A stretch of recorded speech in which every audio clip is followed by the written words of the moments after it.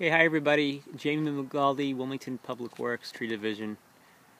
Here today we're uh, talking about oak trees. And uh, typically in New England, three major categories of oaks include the white oak, black oak, and the red oak. White oaks are pretty simple to identify.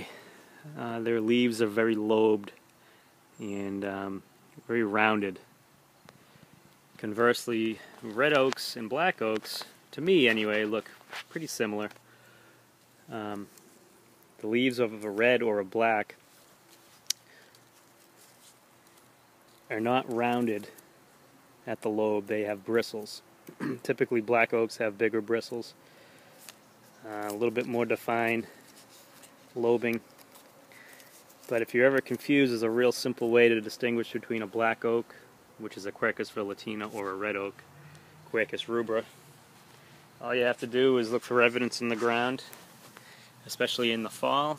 You can easily find some acorns on the ground. You look at the acorn and the evidence is in the cap. If the cap is very bowl shaped like this, very deep, it's typically a black oak, a Quercus velutina.